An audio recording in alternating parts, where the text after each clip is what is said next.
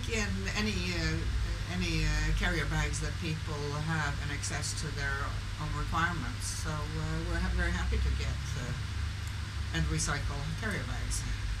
So, what what do you think would happen if there was a um, a ban on carrier bags in the country, and you didn't have reusable carrier bags to use?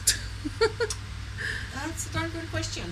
Uh, we would probably have to ask people to put them into whatever bags they have, or like that gentleman who was here now, he'd have to put his cards in his pocket if his pocket was big enough and risk uh, losing some.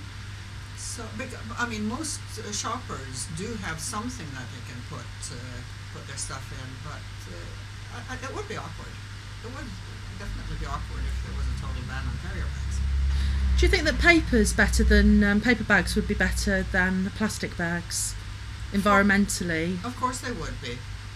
And of course for us it, uh, it, it uh, would be fine because we don't have things that, uh, that, that get condensation on them. Right? You know, not like in, in a grocery shop where you get uh, frozen goods that can give you uh, moisture on your things so that would leak through a paper bag.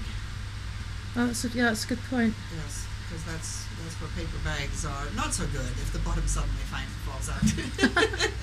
Thank you very much. fabric bags are better. Thank you.